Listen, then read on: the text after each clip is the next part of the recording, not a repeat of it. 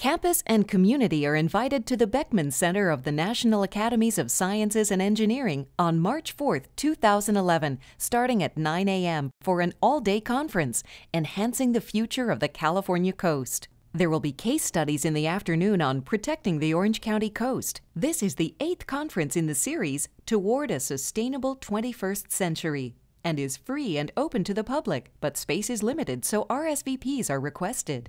Information on how to do this can be obtained by visiting the UCI website for the Newkirk Center for Science and Society. The web address and telephone number are included at the end of this short introduction to the case study portion of the conference. Hi, my name is Chad Nelson. I'm the Environmental Director at the Surfrider Foundation. The project that I'm going to be talking about was a proposed toll road that threatened a world-famous surfing reserve called Trestles. Trestles is fed by the San Mateo Creek and is one of the most pristine watersheds left in Southern California. And the proposed toll road was going to destroy open space, a state park, and also impact this, uh, this amazing surfing area.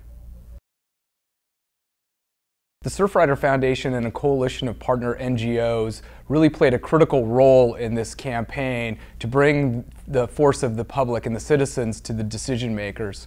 Um, the Surfrider Foundation and our partners um, got, brought the largest attendance to any Coastal Commission meetings ever Thousands of thousands of people attended two different hearings to make it clear that the, the project as proposed was unacceptable and that the, the impacts to our coastal environment were, were more than they could uh, tolerate. My name is Paul Horgan. I'm with the Bolsa Chica Land Trust. The threat to the Bolsa Chica was that there would be 4,884 homes built on the wetlands and mesa, uh, and that would include a thousand homes actually on the wetlands themselves. And the wetlands, of course, for decades have been regarded as a, a precious asset of the community and even beyond. The bird life, even to a person who doesn't know much, is absolutely extraordinary. There are raptors, there are uh, birds in the marsh, there are hundreds of species of birds, many of which uh, come only to Bolsa Chica during certain periods of time, as I understand it. I mean, there's extremely there's uh, rare bird sightings at the place, and it's a very a large area, um, roughly roughly 1,300 plus acres of, of wetlands and marsh, and this again attracts birds from everywhere. It's sustainability. And for, I think that the most important thing in the future about the Bolsa Chica and, of course, the areas like it in the Southern California coast is whether we're going to uh, continue to not recognize those special places like Bolsa Chica, and when we do not recognize it, the effects of that. My name is Harry Helling. I'm the president and CEO of the Crystal Cove Alliance. The project that I'll be speaking about on the day of the conference is a model um, for how all of the agencies that work to protect Orange County's tide pool life have come together to work under the name of the Orange County Marine Protected Area Council. And what we've done over the last dozen years as a, as a group to collaborate to move forward on education, enforcement, and monitoring. We have 42 miles of coastline in Orange County, and much of that is very sensitive tide pool habitat. And I can say, in addition to all the things that you have mentioned about um, Bolsa Chica and, and toll roads, um, I can say with certainty that with the growth of the population and the increased use of tide pools and all the increased pressure from development, that our tide pool populations would have been scoured by people mostly well-meaning people um, not understanding the sensitive environment and taking one thing after another, and we would have tide pools with less diversity, less health, and less ability to survive any problems such as storms and global warming.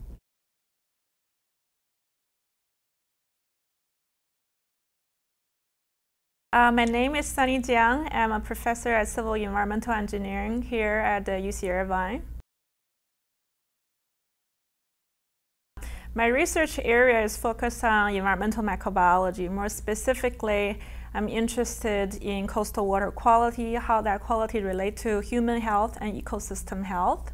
Um, my work has been uh, supported by Coast uh, Keeper um, and other organizations such as Surfrider Foundation and Citizen Group actually support this type of research by collecting data, provide information, and to um, for us to analyze those data and to provide uh, results and to guide the policy decisions on coastal water quality and human health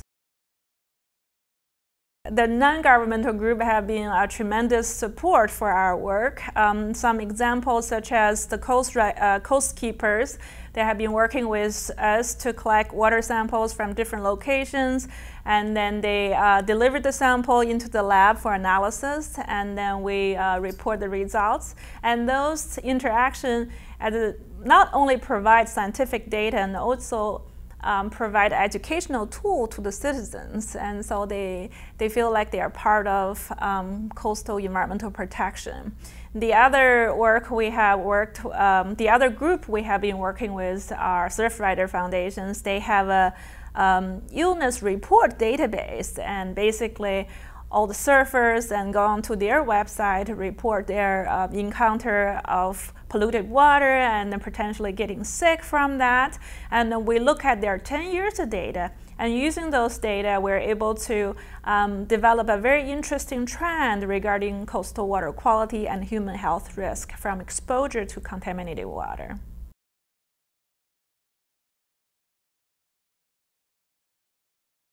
My name is Garry Brown. I'm the president, CEO of Orange County Coastkeeper and the Inland Empire Waterkeeper, uh, which are nonprofit environmental organizations.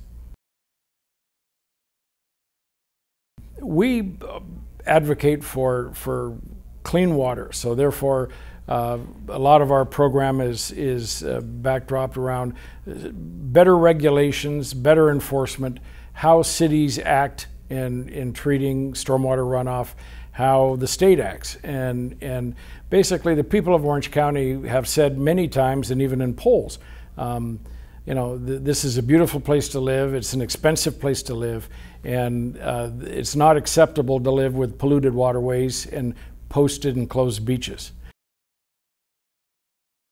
It's important to understand what citizens have done to bring life to the Coastal Act, and you can go to Bolsa Chica and imagine that there would be houses um, all throughout that area there.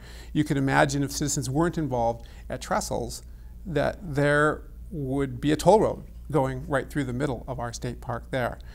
If citizens weren't involved through the Crystal Cove Alliance, we'd have an expensive resort instead of a completely publicly accessible historic district at Crystal Cove State Park. And finally, our tide pools um, throughout Orange County would have been diminished had it not been through the citizen actions um, organized through the Orange County Marine Protected Area Council.